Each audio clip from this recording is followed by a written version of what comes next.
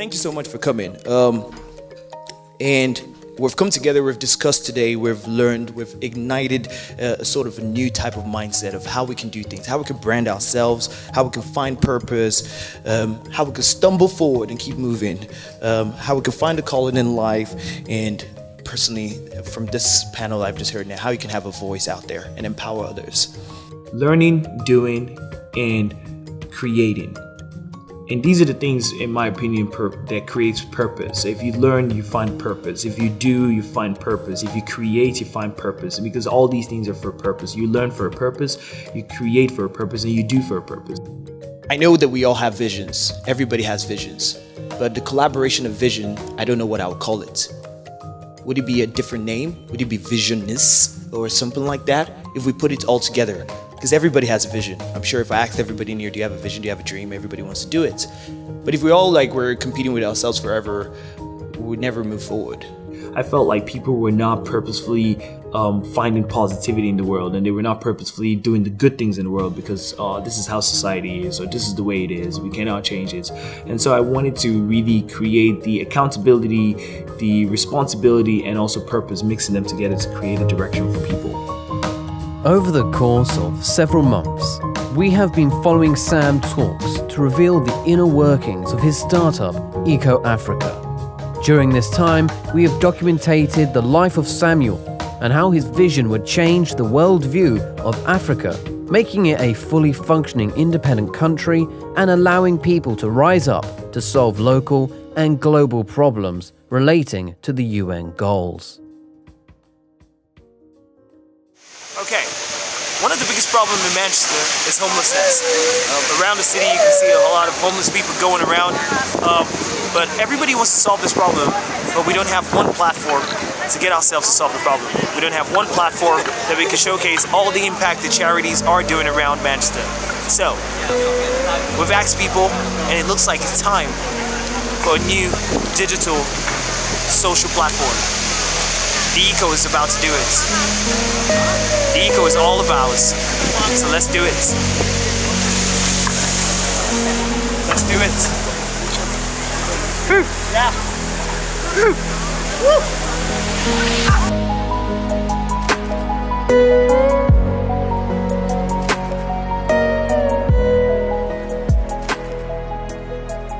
Hi, I am Sam, uh, a digital economist and an innovator, and this is my story. From coming to the Western world, I saw a lot of innovation, a lot of new things happening everywhere. People were uh, new buildings, new cars, new roads. There was no conflict. Everything was moving so peacefully.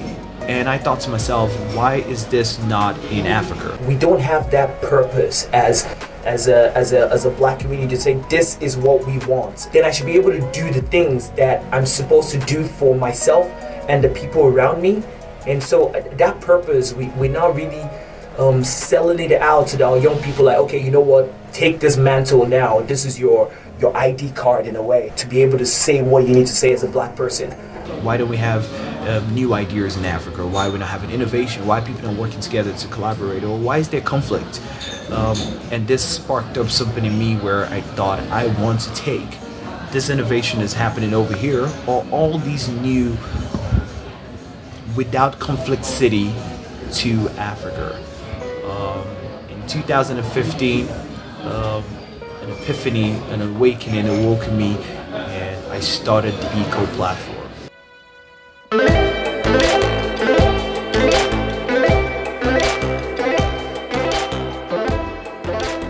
Building a platform called the ECO platform. Okay. The ECO stands for Environment, Community, and Organization. What we do is that we collect problems from around different parts of the world and we connect people to solve those problems under uh, a sovereign identity on the platform. Yeah. So you can you can collaborate and solve problems, you can collaborate and get tasks. We want to create a new way of, of working and a new way of raising money and a new way of solving problems. Mm. How do you feel about that sort of platform? I think that'd be a good sort of platform to have. Uh, it reminds me of I believe that there's within the programming world there's things like that for people to contribute with code. Yeah. So it sounds like a similar sort of thing and I think something like that but being for a more generic audience would be better. Amazing. Thanks for that. Okay, well, in terms of the future of work, I think we're already there because we're so connected. And the way that we work with my business is I have people working with me and for me all over the world. So I have somebody in Lusaka in Zambia, somebody in Lagos, uh, somebody in Slovakia, and I think it's about coming together to collaborate on project by project basis, having multiple plates spinning, working together when it works for all parties, and then going off and doing your own thing. That's the way I see work work, uh, work being from now on because it's risk free. Then it's really exciting, and it's something we can do because technology actually has facilitated that. The Echo platform is really interesting. When I think about economic activity, I think about the traditional way in which it's been measured. And then you get the PPP comparisons that say that this country is and that country are different by this amount, which is a helpful move towards understanding what GDP per person really is.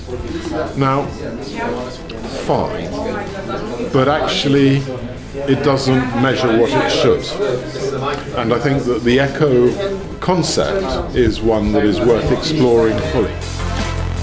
It's it's very um, forward thinking. It's very progressive. I think there's going to be significant changes, and you know what we see in Africa is there are many things which can give Africa the upper edge by leapfrogging uh, certain things which are in place today. So for me, this is something that you know really has a strong potential in the future, and you know we're going to see a lot of uh, uh, moving forward, definitely. You asked me about the future for the Echo. Well, I would say look at Mount Everest, and you're standing on a molehill at the moment, at the bottom of a molehill. You've got to go up the molehill, then you've got to go up the hillock, then you've got to go up the hill, then you go up the mountain, then you get into the Himalayas, then you've got to go up and onto. I mean, can you imagine the Financial Times saying we're not going to quote GDP anymore, we're going to use this new measurement, the Echo.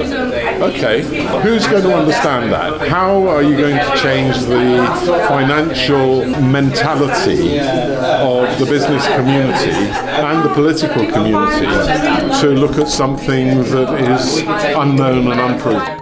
The common saying is data is the new gold. But where is he priced? How is he priced? And why is he priced? The major question would be what are you sharing on social media? Why are you sharing it on social media? And who are you connected to on social media? There seems to be the fact that problems are expanding in the world, but the solutions are shrinking. The open economy involves enterprising, labor, capital, and also landed property and even education done in a different way using a blockchain system that keeps a ledger of every transaction in problems, project, and task. Projects are enacted in the world, but nobody knows where they are. Education and work is changing, but technology has not caught up.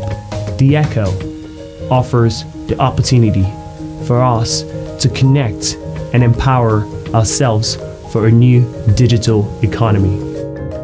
We want to create a world where people and organization can work together under a blockchain system, secured, transparent, and open for people to work together and solve local and global problems. The internet offers this opportunity, digitalization offers this opportunity, and social media offers this opportunity. We, as an organization, are just merging it together to form a new economy. We welcome you to join us. We welcome you to donate to our cause, and hopefully, together, we can do this.